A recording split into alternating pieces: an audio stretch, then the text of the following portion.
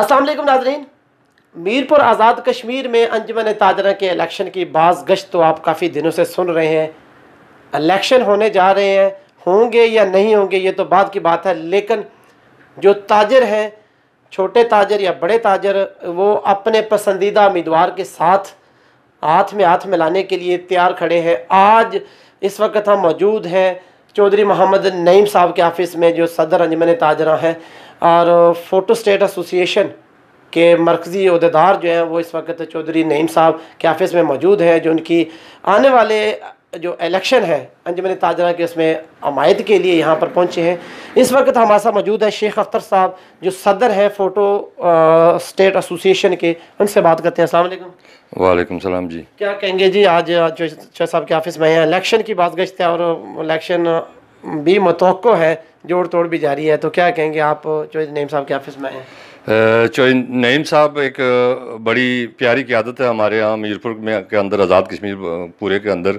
और हम हमें मतलब पिछले का, काफ़ी सालों से जब से भी हम इनका साथ दे रहे हैं इनको हमने बड़ा मेहरबान पाया है। ये हमारे साथ बहुत शफकत करते हैं और रात के वक्त हो दिन का वक्त हो शहरी का वक्त हो हम जहाँ जब भी हम पका रहे हैं इतनी खिलाफ तो ही हमारे पास पहुँचते हैं और हमारी दाद रसी करते हैं। इसलिए हमारी सारी तंजीम मीरपुर में और डडियाल में, जातला में जहाँ जहाँ पूरे डिस्ट्रिक्ट में हम अल्लाह के फजल करम जिस वक्त है।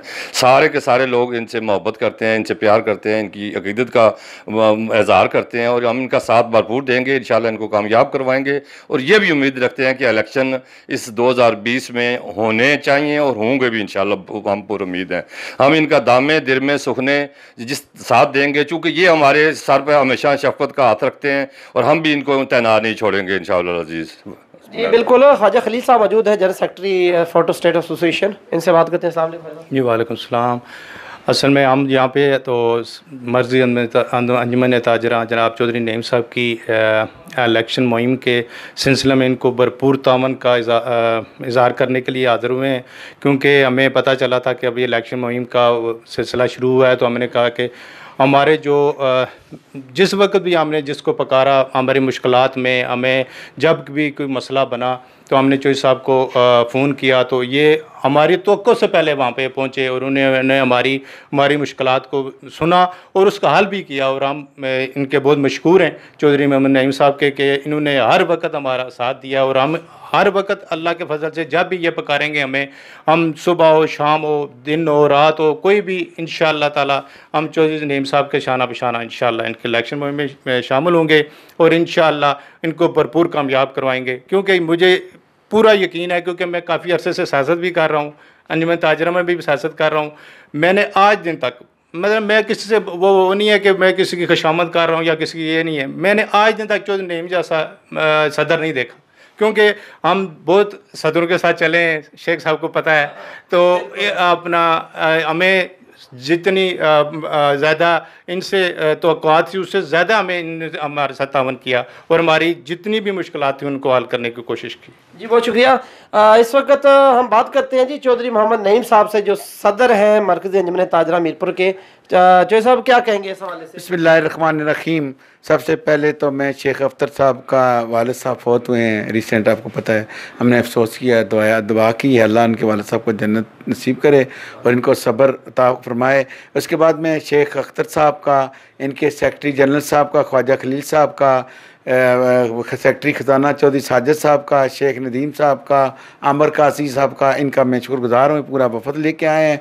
और मुझे ये हौसला देने के लिए आए हैं कि चौधरी साहब इलेक्शन के मैं आपको, भरपूर आपके साथ हैं। तो मैं इनका बहुत ज़्यादा शुक्रगुजार हूँ और इनके छोटे मोटे मुतालबे भी हैं। वो मुतालबे इन हम, अल्लाह पूरा कराएगा और वो मुतालबा भी इन पूरा उनका जायज़ मुतालबा है कि इन्होंने कहा कि जिस तरह मतलब है कि मेडिकल स्टोर या बुक्स की शॉप या बाकी चीज़ें ज़रूरी हैं। इसी तरह हमारे जो डॉक्यूमेंट्स लोगों को बहुत ज़रूरी चाहिए होते हैं तो उसके लिए वो इनका इन लॉकडाउन वैसे ही ख़त्म हो जाएगा।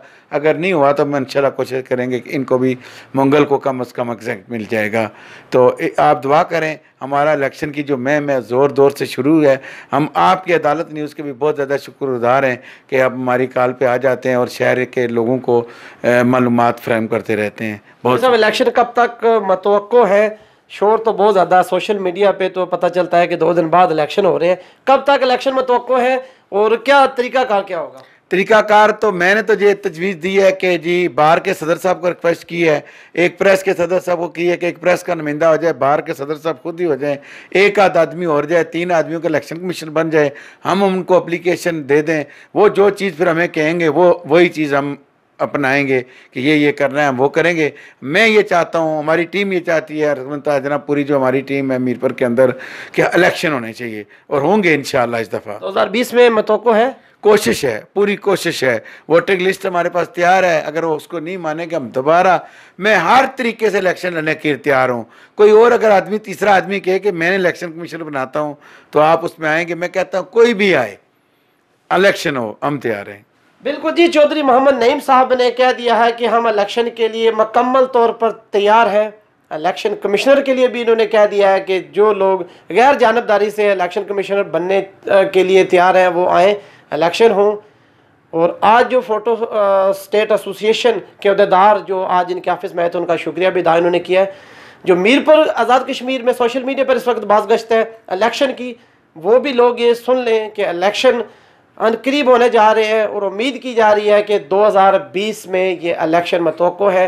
फिर पता चलेगा कि जो अंजमन ताजरा की सदारत का ताज, किसके सर सजता है, तब तक के लिए इजाज़त दीजिए। अल्लाह हाफिज़ नसर